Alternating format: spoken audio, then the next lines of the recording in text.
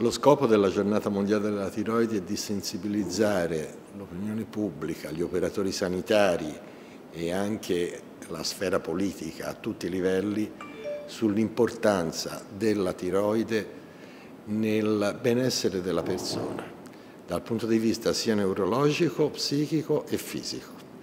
E quindi prestare attenzione vuol dire mettere in campo tutte le nostre possibilità per prevenire le malattie della tiroide o per riconoscerle precocemente quando ormai si siano instaurate.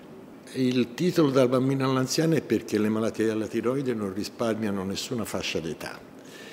Eh, pensi che una delle eh, malattie congenite più frequenti che colpisce un bambino ogni 3.000 è il fatto che nascono senza tiroide e quindi ipotiroidei congeniti. E poi su su, con l'avanzare dell'età, si sviluppa soprattutto le malattie autoimmuni, i noduli e i tumori.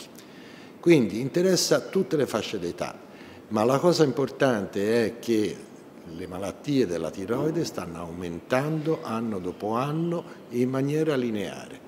Questo non perché ci sia qualcosa nell'ambiente che fa venire più malattie della tiroide, ma perché noi siamo diventati più bravi a scoprirle quando ancora non sono a livello subclinico, quindi a livello sconosciuto. E ovviamente se uno scopre una cosa quando ancora non è clinicamente rilevante, la cura molto meglio.